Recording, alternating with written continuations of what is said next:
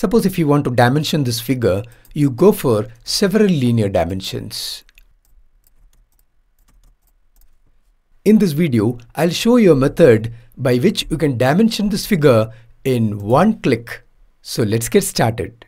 First of all, you have to load this routine using the app load command. Select the routine. It is dpl.lsp, which is a Lisp file.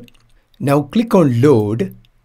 Now you will get the message that DPL is successfully loaded and you can close the app load dialog box. Now all you have to do is just type the command dpl and enter and select the polyline. Now you can see that all the segments in the polyline got dimensioned in one click. The link to download this Lisp routine is provided at the description section of this video. Please hit the like button of this video if you liked it and subscribe to SabeerCAD YouTube channel if you haven't subscribed already. Thank you so much for your time.